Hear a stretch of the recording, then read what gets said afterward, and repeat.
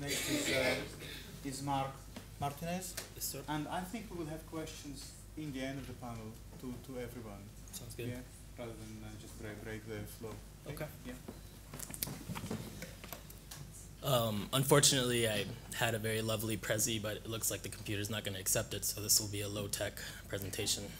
Uh, I'm uh, really glad to be following uh, Rob and Dean's uh, s- smart characterization of Deleuze and Guattari because uh, my project is very much concerned with the scientific thought that both influenced and highly concerned them as theorists.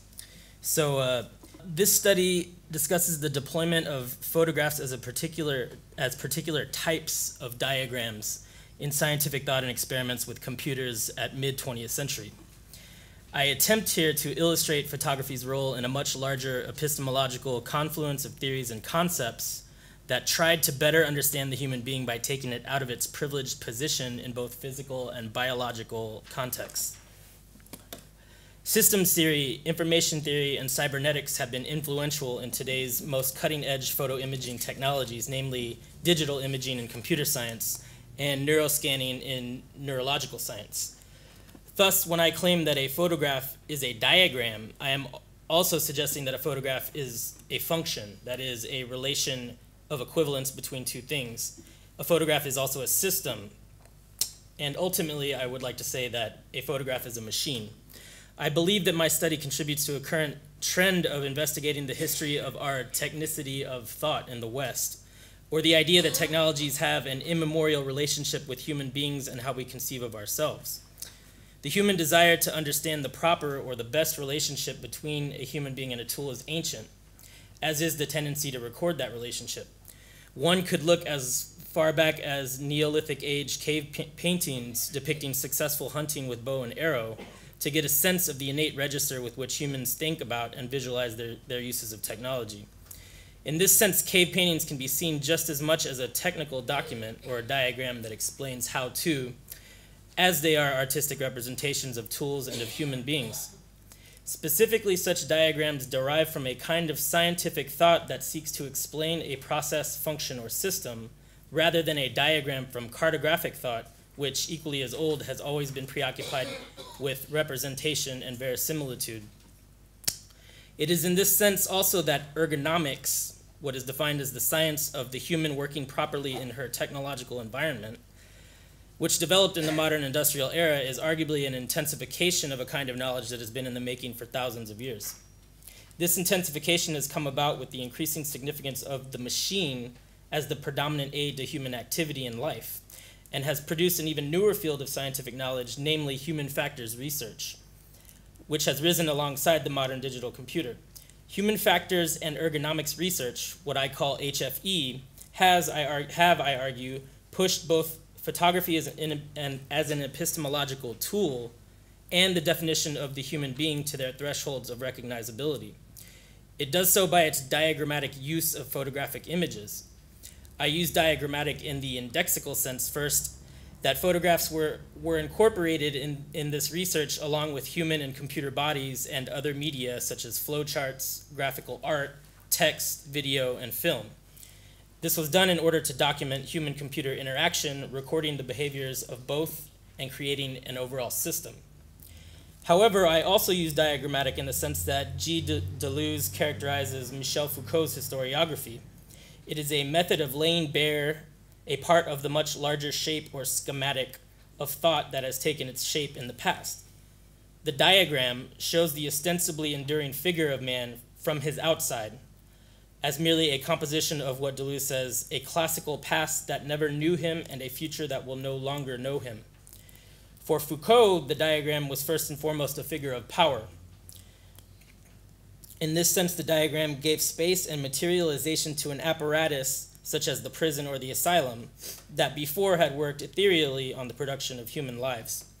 There is, however, I want to suggest another sense in which Foucault refers to the diagram as a shape of history and of knowledge. To articulate or illuminate the shape of the mechanisms of knowledge production, particularly the sciences, what had previously been formless and unknown. This was the essence of Foucault's history of the present. Fundamentally, the idea of shape or to take shape for Foucault was not a form of social or discursive construction, either by the historian or by people. Instead, the shapes of thought that emerged from history, constituted by discourse, objects, and human beings, existed in reality with reality. Uh, I quote Foucault at length here. Eventalization, and this is what I take as synonymous for, with a diagram, eventalization means making visible a singularity at places where there is a temptation to invoke a historical constant, an immediate anthropological trait, or an obviousness that it imposes itself uniformly on all. To show that things weren't necessarily as all that. Eventalization thus works by constructing around the singular event analyzed as a process or a polygon, or rather a polyhedron of intelligibility, the number of whose faces is not given in advance and can never proper, properly be taken as finite. Now, for G. Deleuze, the shape of the diagram is much more articulated to technological objects when he describes the diagram as a corrective to human history. The diagram eschews the forward march of teleological and anthropocentric time with its insistence equally on the horizontal, or the diachronic, the vertical, or the synchronic, and that which exceeds both in the diagram, the diagonal line of flight. Deleuze says, either the abstract machines remain prisoner to stratifications, are enveloped in a certain specific stratum whose program or unity of composition they defined, whether an abstract animal, an abstract chemical body, or energy in itself, and whose movements of relative deterritorialization they regulate. Or, on the contrary, the abstract machine cuts across all stratifications, develops alone and in its own right on the plane of consistency whose diagram it constitutes. The same machine at work in astrophysics and in microphysics, in the natural and in the artificial. Now, the photograph as diagram shows itself as a thought from the outside a moment when human computer interaction breaks from this humanist schematic to produce its own, a non human diagram of thought whose lines mark collisions between analog and digital mediums and organic and inorganic bodies. The lines as well show the dissolution of human agencies and of media technologies as mere tools. In the very deployment of photography to identify a meaningful human factor in human computer systems, the medium makes visible the absolute limit of a humanist epistemology which historically must evaluate all visible phenomena through its own priority. Now, I would like to consider briefly the pioneer plaque as a touchstone uh, and an image. Well, it was going to be an image anyway uh, in my, my study. Uh, for those of you who don't know, the Pioneer plaque was uh, designed and created by astronomer Carl Sagan. It was an attempt to pictorially send out into space uh, what what he at least intended as a mode of communication to an alien intelligence uh, that needed no hermeneutic background or understanding, absolutely no information on human beings. Sure. That would be great. Thank you. Uh, so I would like to consider uh, this pioneer plaque. Uh, it was designed to be the most likely chance at meaningful communication from human beings to intelligent extraterrestrial life that happened upon that happened would happen upon the Pioneer satellite as it left our system. It was both audacious in its reduction of human culture to diagram form and terribly presumptuous in its dependence on scientific thought, logic, and mathematics as universal features of the universe. Ah, nice.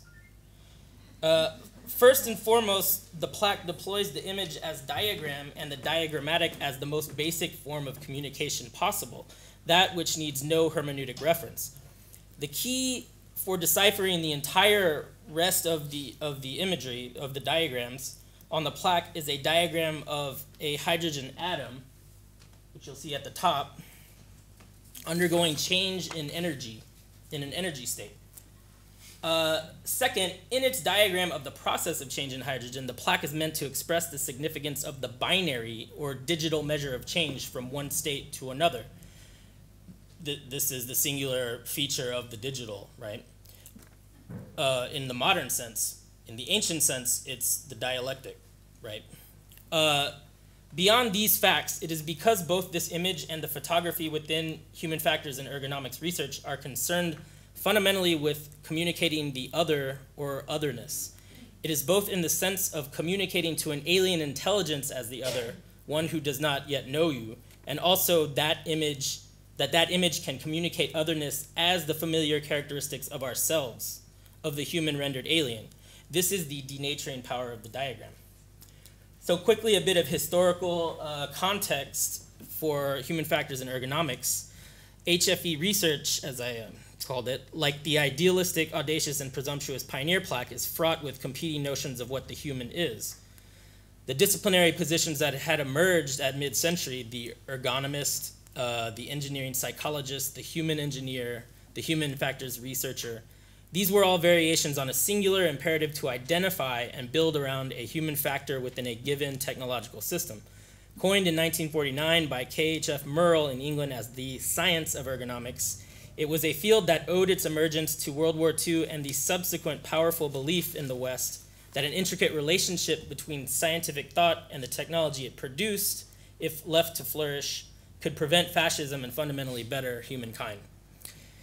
HFE research flourished during this high moment of technoscience in the West, or the conflation of science and technology based on this singular belief in its powers uh, to alter realities, either physical, political, or ethical. Murrell was attempting to create a multidisciplinary group whose sole purpose was based on the most basic principles of, quote, human research, quote, health, and, quote, the good. What had been the Human Research Group became the Ergonomics Society and quickly shifted its scope beyond merely conditions of the work environment and beyond as well designing machines of war and of the factory. Ergonomics had to reckon with a new media technology that emerged from, uh, from the Second World War, the digital computer. There was no facet of computer engineering during the 1960s that did not fall under the scope of human factors research, and increasingly computers began to be constructed to refine the very practice of human factors testing that in turn function to construct better computers. The computer, not only for its calculative and memory powers, but especially for its virtual powers, or ability to simulate other experiences, became the predominant human factors experimental machine. Photography, along with the drawn diagram, in turn became the means of empirically capturing and communicating the given human computer system that was being constructed and experimented on. HFE emerged later as a uniquely American version of British uh, and continental ergonomics. HFE together exist as a field of knowledge strongly linked with the documentarian and empirical uses of photography for human machine systems. Fundamentally, the photographs deployed were complementary to the, to the new theoretical paradigms that had been formative of the digital computer and of HFE, namely general systems information cybernetics theory, theories. With general systems theory, or general system theory, Ludwig von Bertalanffy put forth the idea in the 30s that principles and forces in a biological system could be seen to be mirrored in political and social or human systems, as well as in purely physical systems devoid of any life whatsoever.